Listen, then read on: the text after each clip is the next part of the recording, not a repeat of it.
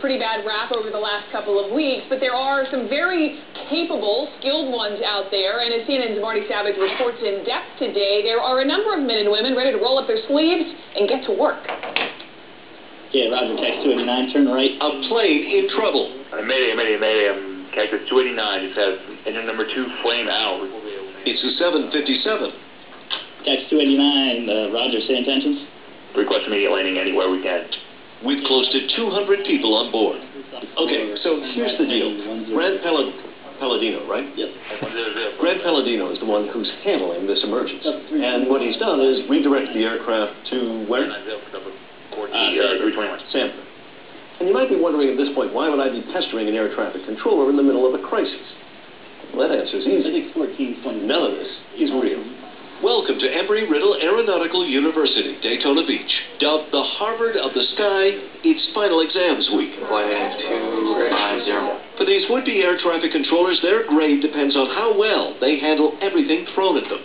Realism is what you're after. That's exactly what we're after. In the scenarios, in the training, and all That- That's, that's correct. Uh, Our, we want our students to be as fully prepared when they get to the field as possible.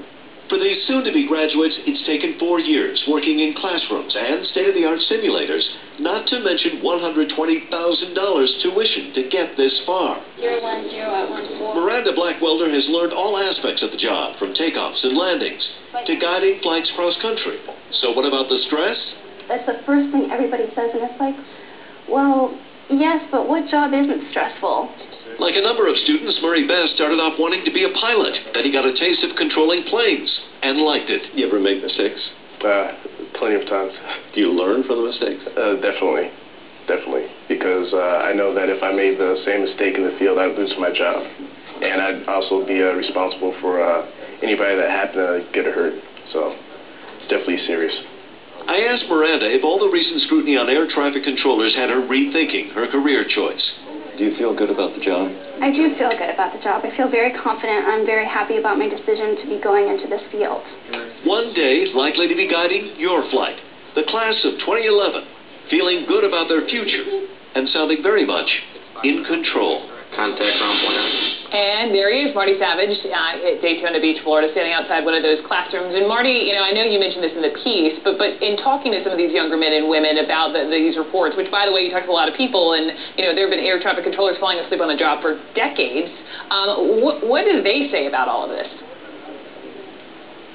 Well, let me show you something real quick, and I'll answer that, Brooke. We're at the Air Traffic Control Tower Simulator here.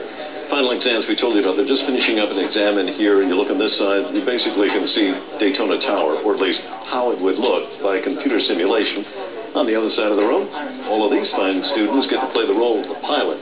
That's how they try to make it real. But getting back to your question, this has been a story that they've actually ripped from the headlines and then talked about in the classroom. What's going on with air traffic controllers across the country. And here's the takeaway they get from that. There are 15,000 air traffic controllers in this system, less than a handful that have had serious problems in any way, shape, or form. So what they say is that that in no way really diminishes the overall quality of the industry. It's just a few bad people, and you'll find them in every kind of job.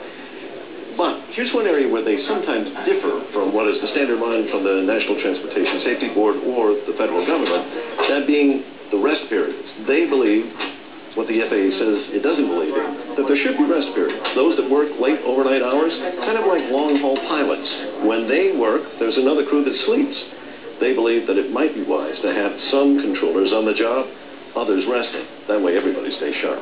Marty Savidge, I didn't even have to write it for you, and that's a perfect segue for me to my next story here. Marty, thank you, by the way. Uh, so, to Marty's point, if pilots, if doctors, you know, have these mandatory sleep times, should air traffic controllers follow the same rules? Coming up next, we'll speak with someone who testified on this very debate on Capitol Hill, and